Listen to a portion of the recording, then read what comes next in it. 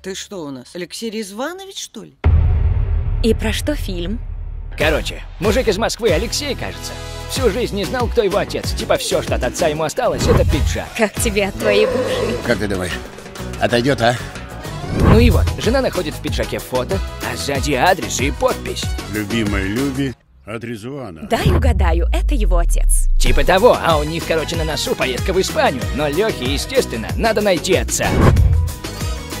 Поедем-ка мы отдыхать на Кавказ.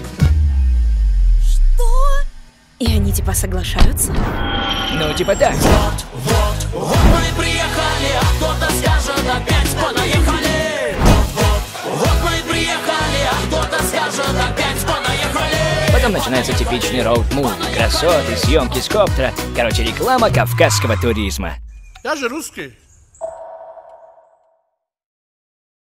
Эй, ты там уснул? Ну, в общем, едут они по Кавказу, какой-то нескончаемый кипиш, борьба, горячий источник гонки, динамика и так далее, а в конце...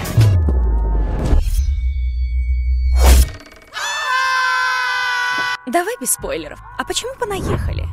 Ну, типа не с Кавказа в Москву понаехали, а наоборот, типа прикол.